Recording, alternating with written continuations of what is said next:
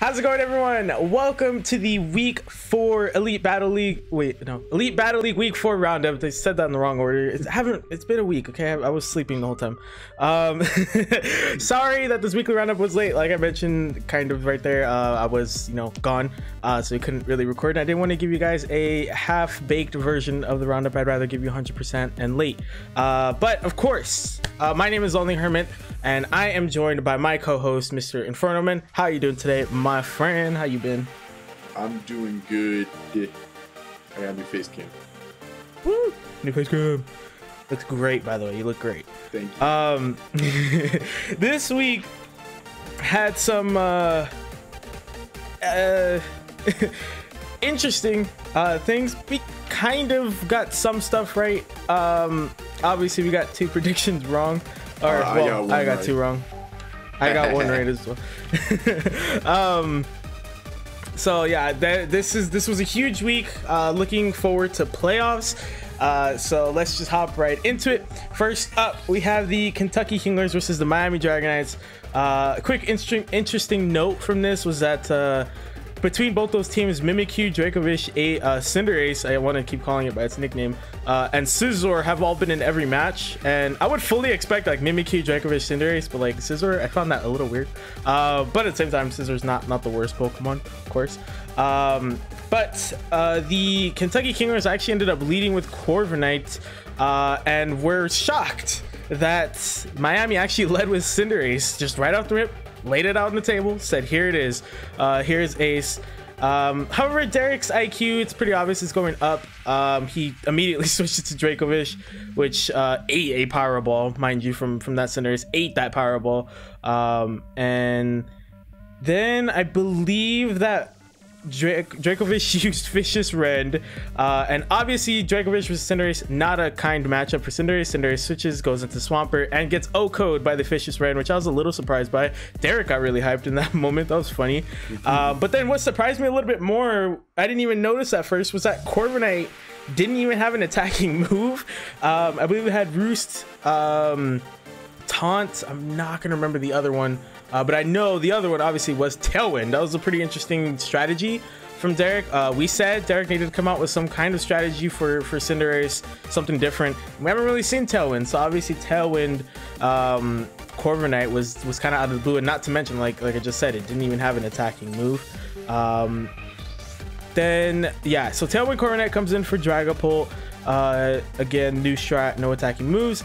Rayquaza comes in, uh, starts Swords Dancing, which I actually didn't realize that Rayquaza got Swords Dance, and it actually Oko critted uh, Galarian Darmanitan, which had come in for the Kinglers, uh, a crit extreme speed kill after Swords Dance.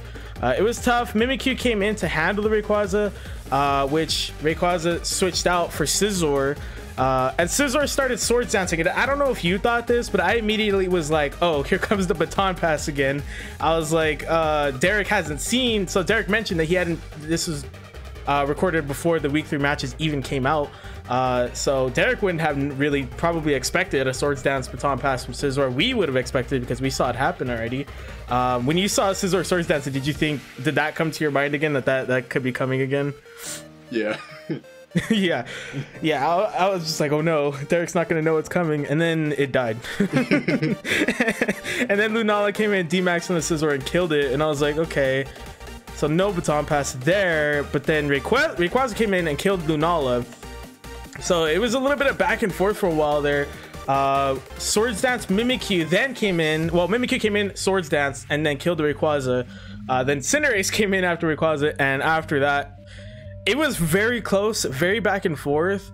But once Cinderace came in again, re-entered the match, that's when uh, obviously it took over. Killed Mimikyu, killed Dracovish, which honestly was Derek's like only chance at beating Cinderace. Uh, and then it just easily finished off Heracross and Corviknight. Easily finished them off, and was your week four MVP. Cinderace leading the league as well for the season MVP, and is more than likely the, the odds of it not getting season MVP is pretty low. Uh, so probably is going to be your season MVP. Um, but with four kills, no deaths, it, it just came in and finished up uh, the Kinglers, and Miami won in a 6 3 fashion, pushed them I believe that what Stone said, uh, if two teams have the same record, I think it goes off a differential first. Um, like their KD first. It could be head to head.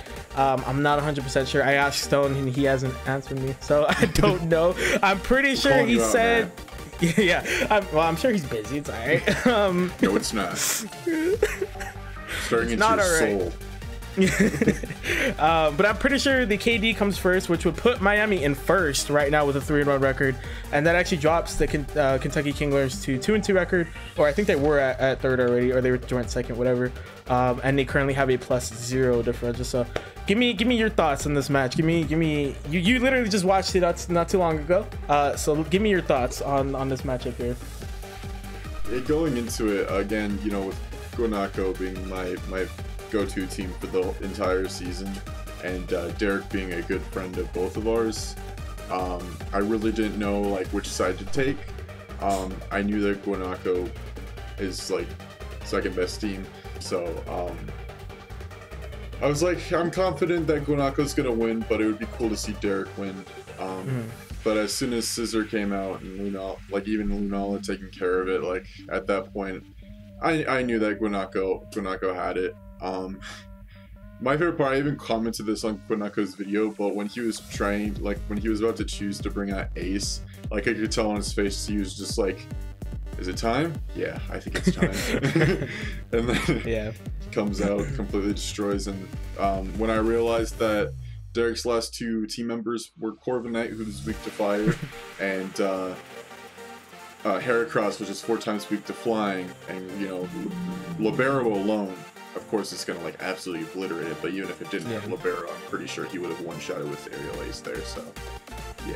At that point, I was just like, yeah, he's got in the bag, poor Derek. Yeah. Yeah, uh, it it honestly you're you're right. At that point, um I think when Yeah, I think when Rayquaza killed Lunala is when I was like, ugh, this is not is not looking pretty. Uh it's still in the air. Uh, but definitely when Ace came back in, it was it was it was over. Uh, like you mentioned, Heracross was not going to take a hit, uh, and Corviknight obviously could have maybe taken a hit, but it had no attacking moves, so it really wouldn't have made a difference regardless. Uh, a risky play from Kentucky, and like we, we said this in the predictions, we said Kentucky needed to come out with something different, um, but unfortunately, that something different was not enough, and Miami was able to steal that win. Well, not steal it, they, they won it. Uh, fair and square, obviously, but it was, a, it was a- it was an intense matchup until the end. Uh, uh, Ace, that's under Ace, man. It's just too much. It's just too much. I think we're learning that it's just too much. It needs to be bad next season. All right, moving on. um, we have the Everglade Enteis versus the Detroit Luxrays. The Detroit Luxrays picked up their first win of the season uh, in a pretty in pretty good fashion. I mean, it was a little shaky at times. It was a little shaky at times, but still, regardless, they managed to pull out the win. It was a little bit of a come from behind sort of win. Um, but that's kind of what they've been doing all season. Uh, finally, there's a score line that's not 6-3 for the Luxrays. uh, they won 6-4 in a 6-4 fashion. Uh, quick note for Detroit, they brought they've brought Galarian Moltres, Coalossal, Haxorus, and Metagross every single match uh, this season. So that has also led to them needing to bring Luxray next week. So I believe they play, uh, if I recall correctly, they play yeah the Scorbunnies. So they have to bring Luxray. Then again, Luxray's not in the worst position against the Rain team. But regardless, Detroit actually led with Ribombee and Sticky Web right away. Um, whereas Everglade led with Palkia. Um, and uh, Fus did allow the free sticky web because he switched out into Bisharp. Um, and then I believe Detroit switched into Metagross. Um, and Fus actually correctly predicted the EQ for Metagross and got a free switch into Rotom Wash, which led to a very interesting moment uh, where where uh, Fus said, you know, Max might have predicted or might have forgotten that uh, Rotom Wash had had levitate. Um, but in that moment, I literally stopped Fus's video and I went and went straight to the gamer's point of view, and I was like, "Why did he click EQ again?"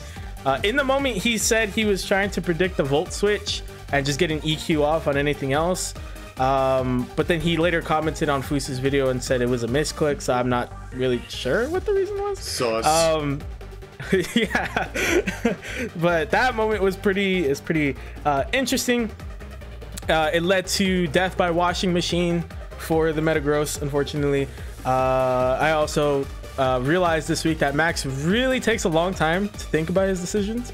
Uh, clearly, it paid off this week though. Uh, but it took Fus was at one point. Fus was like, "Can you like hurry up so we don't hit the time limit?" he didn't say that, but you know. Um, just, he's like, "Look, man, I've hit the time limit before. I don't want to do it again." yeah. Um, but Haxorus at some point comes in for the Detroit Luxrays, starts D-dancing, and another interesting moment, Fus starts kind of giving Max a lecture about not getting uh, caught setting up all the time, which we've seen it again and again. Every match this season for, for the Luxrays, they've set up uh, to a certain degree at some point. Uh, has it paid off? Clearly not as much as he probably would have liked. Uh, but I really like that moment where Fus was giving Max, he was giving him advice, but it just kind of sounded like a lecture. I thought that was really funny um, about uh, the dangers of setting up. Um, but Clefable was able to come in for the Everglade Entei and kill Haxorus, and Detroit quickly fell into an 0-2 hole there. They're down two Mons. For a second there, you're like, oh man, well, here we go. They're heading towards, you know, another loss. Uh, but Salazzle came in. This, this is this was really interesting right here because this is when it got really strategic because it was just switch for switch for switch for switch right here. After Clefable kills Haxorus, uh, Detroit sends in Salazzle. To counter Salazzle, Everglade sends in Galarian Slowking. To counter Galarian Slowking, the uh, Luxray sent in Galarian Moltres. To counter Galarian Moltres, the Entei sent in Nidoking. Um, so, of course, Moltres sets up with a nasty plot. And Nido Max Lightning does not kill Galarian Moltres.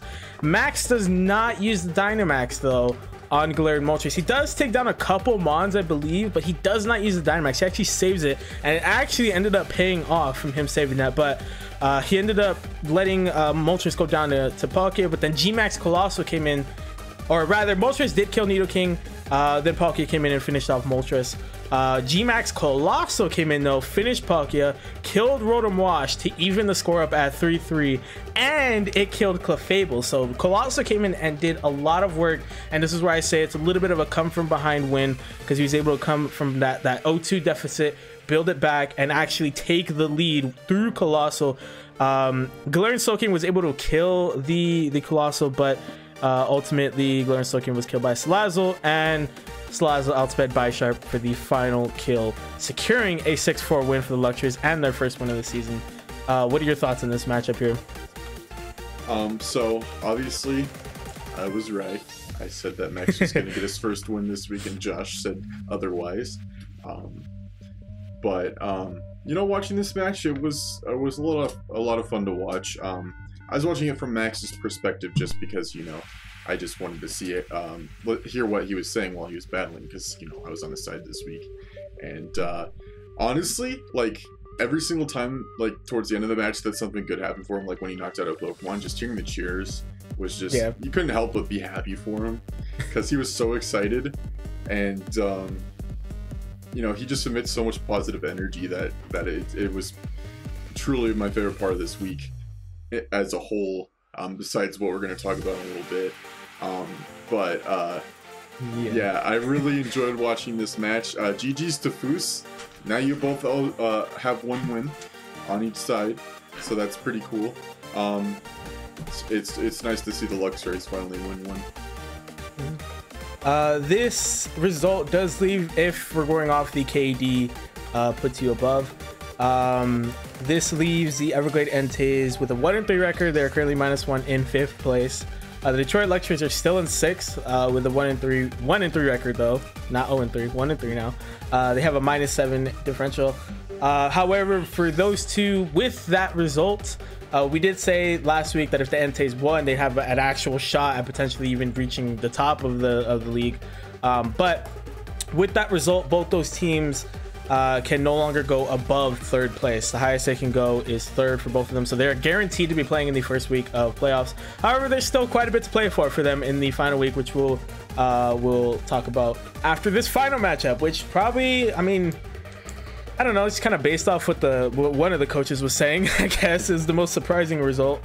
Um, the rain is over. The Chicago Scorbunnies versus the Atlanta Braviary. Chicago Scorbunnies lose finally to the Atlanta Braviary. It was a pretty long matchup uh, uh, from my calculations. It was about 18 minutes. Um, I say my calculations and then I say about. Uh, but the Atlanta Braviary managed to get the dub against the Chicago Scorbunnies, and it was not pretty for the Scorbunnies. It was not pretty for them. Uh, first of all, though, I want to say it was a very nice shout out to Aiden, who's Stone's son uh, from Krobatz. I thought that was really nice of him uh, because they played Unite together. Uh, so shout out to the kindness in the community, of course. Um, but my biggest confusion was when I saw Galvantula. Uh, I was like, well, Galvantula is well, seeing Galvantula and and um Fer- Ferrothorn, uh, both you know obviously hazard mons, but seeing Galvantula more so kind of confused me because my immediate thought was like Sticky Web. I know Stone hasn't used, I know the Braviary have not used Trick Room yet, but I was just like, if you use Sticky Web, that's not a good thing to use against a Trick Room team because it's just gonna help them. Um, and even what confused me even more is that Corbat said he was expecting Trick Room. He later admitted like I, I shouldn't have brought that as it was a mistake.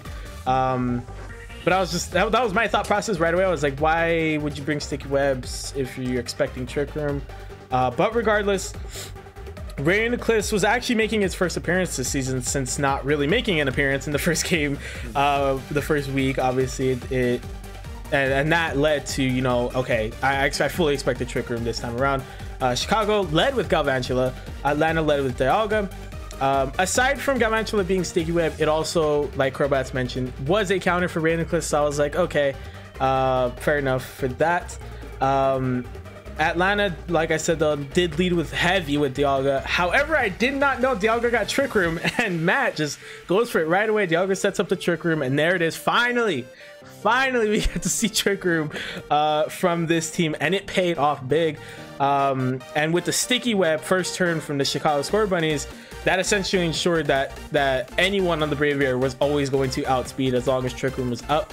Um, but the first turn was huge, huge, installing Chicago and preventing the drizzle from properly being set up because Chicago, from that point on, were on the back foot. In my opinion, this whole matchup, Chicago was on the back foot, uh, trying to play catch up for the whole match. And it, they, they got dug into a hole right away in that first turn with the sticky web trick room. Um, and it was, it was, it was tough.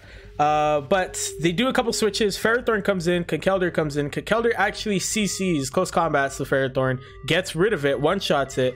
Um, and I believe Conkeldurr also killed Galvantula. So brought both hazard mons, and they were the first two mons to go down. And also there goes your plan for the Reuniclus as well.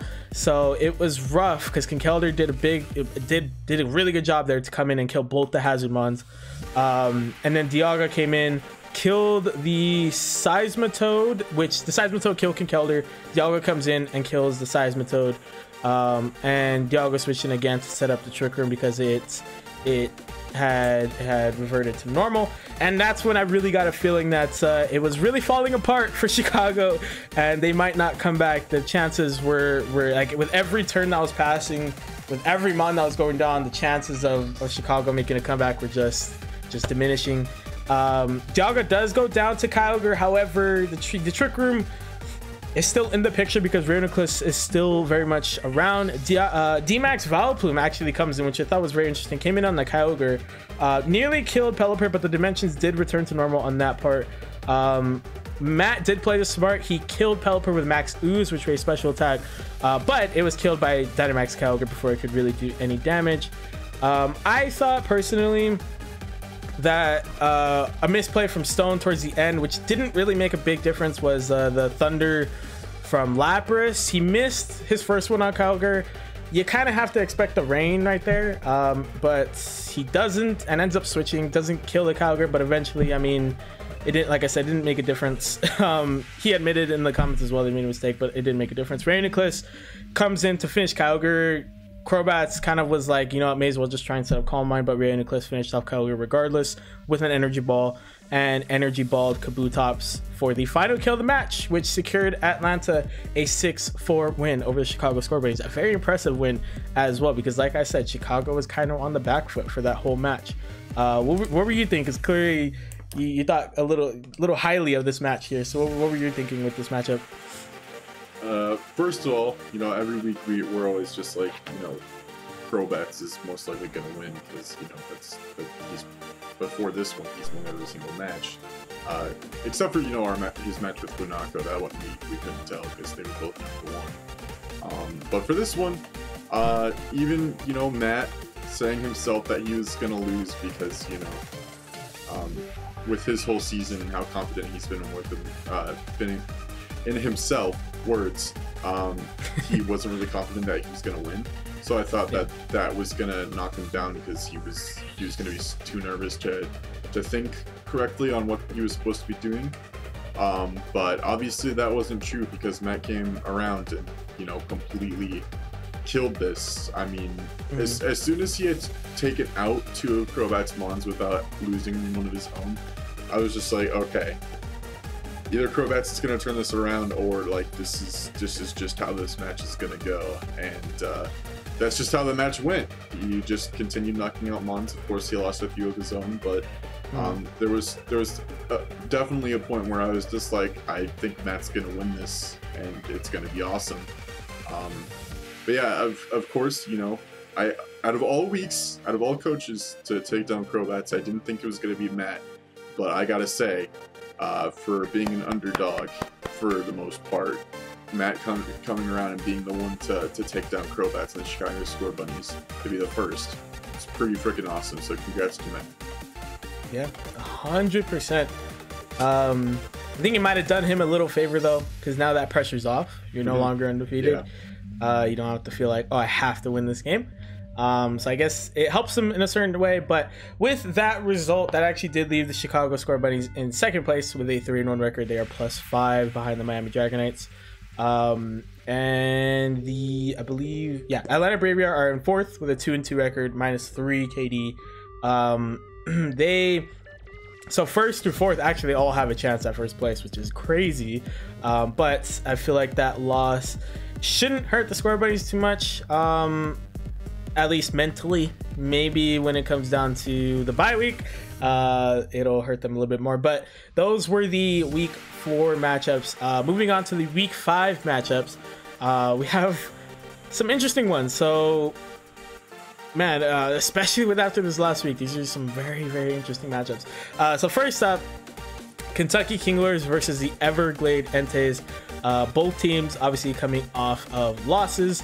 Uh, one, I feel like a little bit harsher than the other, uh, being, you know, the Kentucky's Kinglers loss was a little bit harsher uh, because they just kind of, you know, got destroyed um, by, by Cinderace. but, you know, what's new?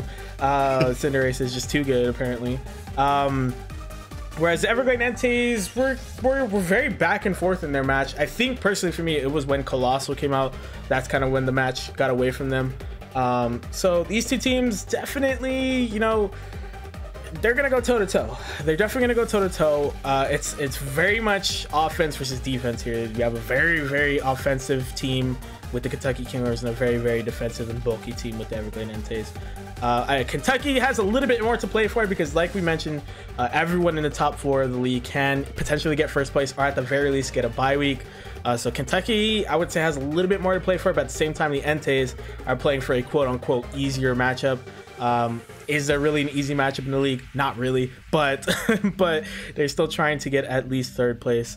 Um, this is a very tough matchup. What uh, I want to hear your thoughts before I make a decision.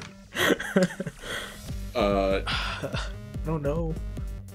Yeah, I think I'm on the same page as you. This one's this one's up this in the air. This is a tough one. Yeah. uh, I'm probably just gonna pick the same team as you because. Oh, of course you are.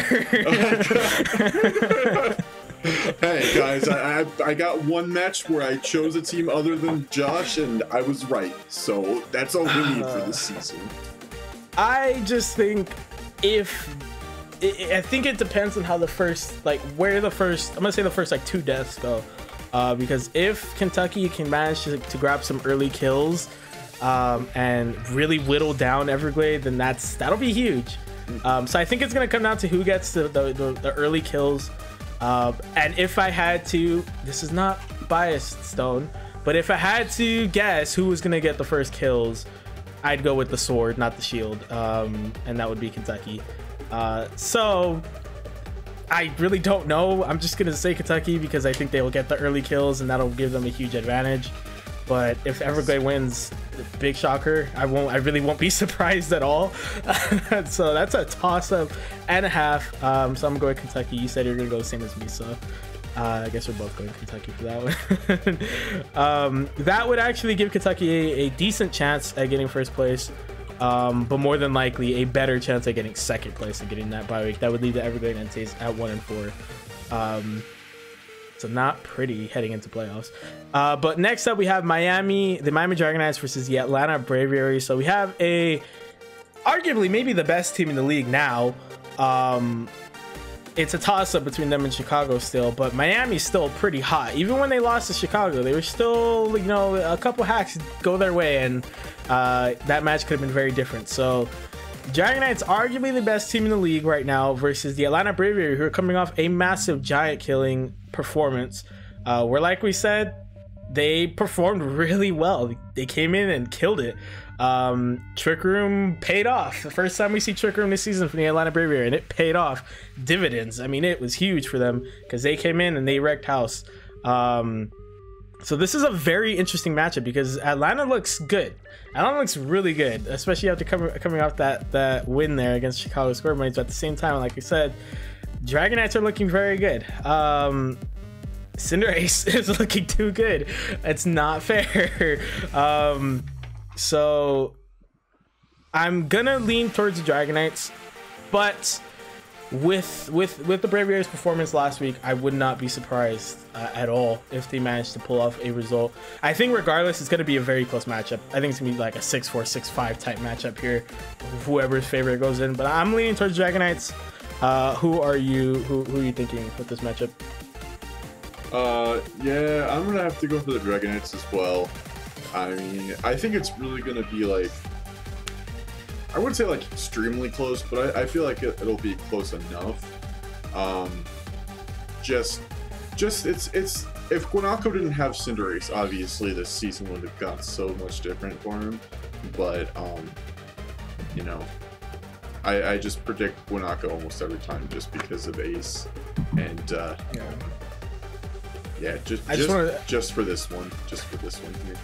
Um, I just want to throw it out there that the only match that Cinderace has died, they lost. Just throwing that, that out there. That is, that is true.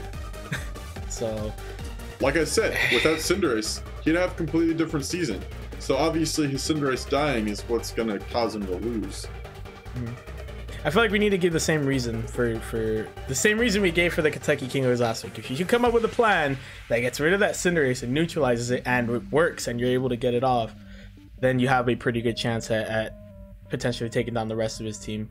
Um, Derek had a plan with Dracovish and Corviknight. It obviously did not go to plan uh, with Dracovish going down and all that. So if if Matt could come up with a plan for the Cinderace, uh, maybe not completely revolved around the Cinderace, but enough so that you can take it out um, that'd be huge because, like I just said, uh, the only match they got taken out, it they lost. So it's pretty clear that that might be a key for them. Um, so I'm I'm interested to see that matchup. What plan Matt can come up with. I'm really hoping that it's not a blowout uh, via Cinderace, uh, but I'm I am leaning towards Dragonite there. But moving on to the final. Oh, that I think that would secure uh, well, depending on how this next matchup goes, that would likely secure Miami's spot at very least in the top two. Uh, it actually would definitely secure them as a top two uh, in the league, so they'll definitely get a bye week if they win that. The Braviary could potentially fall as far as fifth, uh, maybe sixth, depending on how the other results go. Um, so that would be pretty big for both of them. Uh, but the final matchup is the Chicago Scorbunnies versus Detroit Luxray. Obviously, Luxray coming off of their first win, so they must be feeling all kinds of good. Like we said, uh, the Luxray needed to get some kind of momentum going heading into playoffs. You don't necessarily need to win both matches. It's just that you need to build some kind of momentum heading into playoffs. Uh, the Scorbunnies, it's going to be stinging. They're still going to be stinging a little bit from that loss. It was, like I said, it was, it was not a pretty loss. Uh, it was not the best performance this uh, season from them, but they're still three and one. They're still very much in contention for first place, uh, and a win for them as well would lead to a uh, a bye week, much the same as the Miami Dragonites, and potentially first place depending on how the Dragonites matchups goes. Um, however, we didn't mention that Luxray still needs to make an appearance with Detroit Luxrays, uh, their mascot, of course. Um, and it's an electric type going against the Drizzle team, so it's not that bad. It's not the worst, you know, timing to bring uh, Luxray in. It obviously benefits a bit from the rain. Uh, obviously, you have like 100% thunder and things like that. Um, so it still benefits from the rain. It's not like it's a horrible thing to have to bring. And I'm sure Max picked Luxray for a reason other than it being his mascot. I'm sure there's a reason. We just have yet to see it. Obviously, it hasn't made an appearance yet.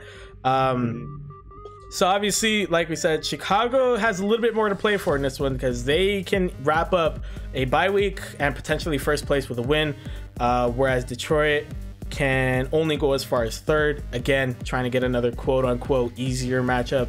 Um, again, none of the matchups are easy, but you know what I mean. Um, I'm gonna lean towards the, Squirrel Bunnies, uh, as I accidentally mistype their name all the time. Um, I don't know why. Um, but I don't think this is going to be a 6-3 loss. I think this is going to be a lot closer than the 6-3 loss. Um, but I feel like Score, Scorbunnies need to they, they need to head into playoffs feeling good. Um, they're still very much one of the better teams in the league, as proven by their record. Um, but the Luxrays still need that momentum booster uh, heading into playoffs. So even if they lose, just as long as they put in a very good performance, then they'll head into playoffs still feeling good. Even though you know Max is always smiling and cheering and stuff, so I guess it won't really make too much of a difference. But uh, I am leaning towards Chicago with this one. What what you what you thinking? Okay, this one's gonna be a complete shocker to you guys, but uh, I'm gonna go with the Scorbunnies. Um, I mean,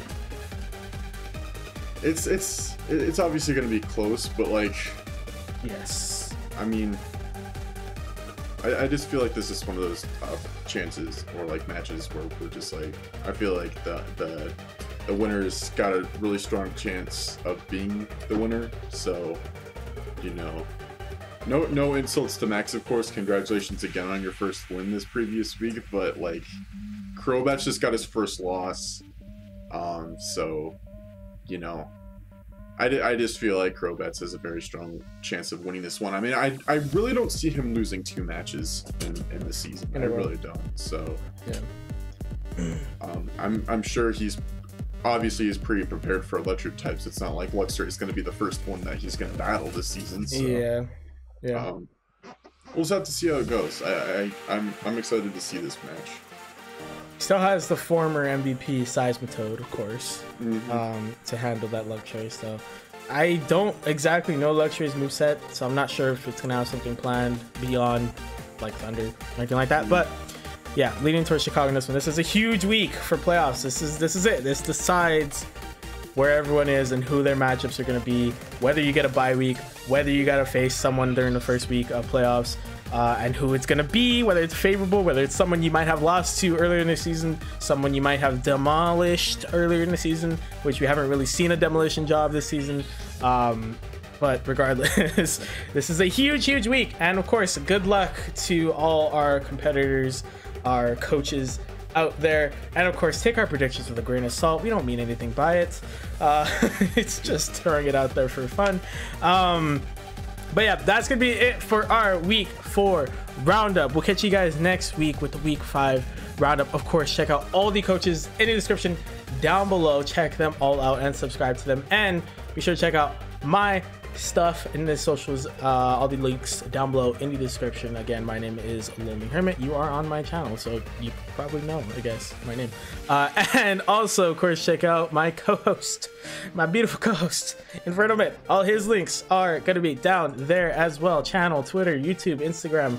Uh, I don't know why I said channel and YouTube. They're same thing. Just it's all down there. Go, go follow and subscribe and do all that good stuff. Do you have anything left to say, my good sir?